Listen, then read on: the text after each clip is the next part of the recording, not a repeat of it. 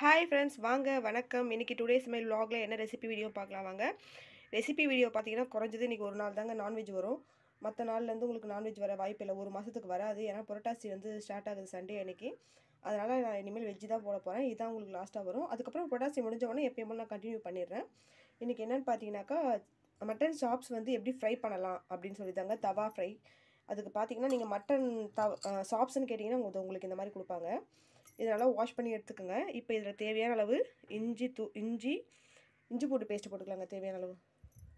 இங்கே பாருங்கள் ஒரு ஒன்றரை ஸ்பூன் அளவுக்கு போட்டிருக்கேன். வீட்லேயே அரை அரைக்கிறோம் இல்லைங்களா குழம்பு மிளகாய் தூள். அது ஒரு ரெண்டு ஸ்பூன்லேருந்து ரெண்டரை ஸ்பூன் அளவுக்கு சேர்த்துக்குங்க. உங்கள் வீட்டு காரத்தை பொறுத்துங்க. அப்புறம் மஞ்சள் தூள் பார்த்தீங்கன்னா ஒரு கால் ஸ்பூன் மஞ்சள் தூள் சேர்த்துருக்கேன். கொஞ்சமாக கல் உப்பு. தேவையான அளவு சேர்த்துக்குங்க. ரொம்ப கறிக்க போகுது. இப்போது இந்த மட்டன் வேகிறதுக்கு தேவையான அளவுக்கு நம்ம தண்ணி ஊற்றிக்கலாங்க ரொம்ப தண்ணி வேணாம்.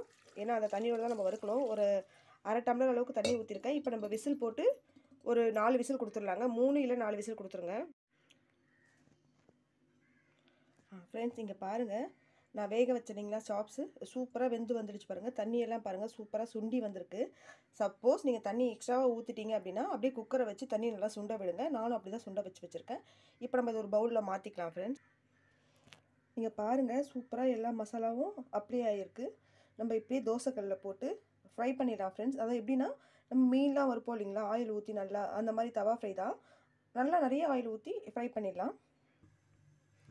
ஃப்ரெண்ட்ஸ் இங்கே பாருங்கள் நான் தவால் ஆயில் ஊற்றி நல்லா ஆயில் ஹீட் ஆகிட்டுருக்கு நல்லா ஹீட் ஆகட்டும். ஹீட் ஆக சொல்ல நம்ம அந்த சாப்ஸ் எடுத்து போட்டு வறுக்கலாம். இங்கே பாருங்கள் ஆயில் சூப்பராக ஹீட் ஆகிடுச்சு இப்போ நம்ம ஒரு ஒரு சாப்ஸை எடுத்து அப்படியே தவாவில் வைக்கலாம்.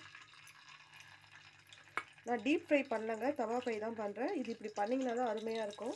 அப்படியே ஆயிலில் வைங்க.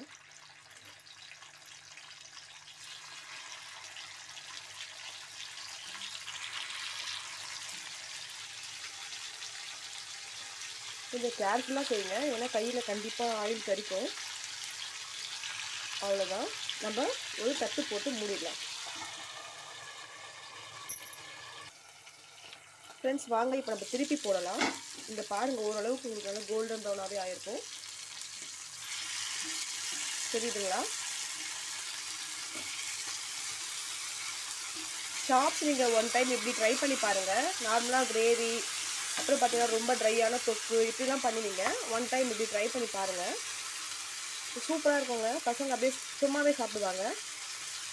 மட்டன் சாப்பிடாதவங்க கூட சாப்பிடுவாங்க நீங்கள் இப்படி ட்ரை பண்ணி பாருங்கள் ஒன் டைம் ரொம்ப ஈஸி பார்த்தீங்கல்ல ரொம்ப பெரிய மசாலா எதுவும் கிடையாது. ரொம்ப நார்மலாக தான் போட்டிருக்கேன். சரி இந்த பக்கம் வேகட்டும். பாருங்கள் ஃப்ரெண்ட்ஸ் சூப்பராக செவந்து வந்துடுச்சு பாருங்கள் நல்லா கோல்டன் ப்ரௌனாக இருக்குது இதுதான் கரெக்டான ஸ்டேஜ் இந்த ஸ்டேஜில் நம்ம எடுத்துடலாம். இங்கே பாருங்கள் ஃப்ரெண்ட்ஸ் சுவையான சூப்பரான சாப்ஸ் ஃப்ரை தயாராகிடுச்சு ரொம்ப ஈஸியான பொருட்கள் போட்டு ஈஸியாக செய்கிறது தான் இது. தொக்கு கிரேவி இதெல்லாம் எப்படி வேணால் நம்ம செஞ்சுக்கலாம். அது உங்களுக்கு தனியாக நான் உங்களுக்கு போடுறேன். இந்த ரெசிபி ஒரு வாட்டி ட்ரை பண்ணி பாருங்கள் ட்ரை பண்ணி பார்த்துட்டு எப்படி வந்துச்சுன்னு சொல்லி எனக்கு கமெண்ட் பண்ணுங்கள் ஃப்ரெண்ட்ஸ் என்னோடய வீடியோஸ் எல்லாம் மிஸ் பண்ணாமல் பாருங்கள் எனக்கு சப்போர்ட் பண்ணுற எல்லா நண்பர்களுக்கும் நண்பிகளுக்கும் மற்ற அனைவருக்கும் ரொம்ப ரொம்ப ரொம்ப ரொம்ப நன்றி. என்னோடய வீடியோஸை கண்டிப்பாக தொடர்ந்து பாருங்கள் உங்களுக்கு பிடிச்ச மாதிரி நான் கண்டிப்பாக வீடியோஸ் கண்டிப்பாக அப்லோட் பண்ண முடியும் என்னால் பண்ணுவேன்.